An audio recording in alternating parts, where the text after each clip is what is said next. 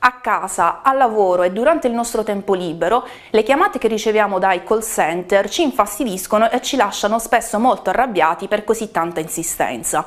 C'è una soluzione a tutto questo, il registro delle opposizioni istituito dalla normativa italiana nel 2011. Grazie a questo registro, a cui ci si può iscrivere in maniera gratuita, non si possono ricevere più telefonate indesiderate. Il problema è che questo registro, secondo le associazioni di categoria e secondo anche tanti utenti e consumatori, non funziona, non funziona a dovere ed è del tutto inutile. Quindi continuano anche le persone iscritte al registro delle opposizioni ad essere chiamate da parte dei call center e a ricevere telefonate molto fastidiose che spesso durano e sono continuative durante tutta la giornata. Questa proposta di legge vuole portare il sistema dei call center e delle chiamate dei call center a come era in precedenza, ovvero un esplicito consenso da parte dell'utente ad essere chiamato direttamente dai call center.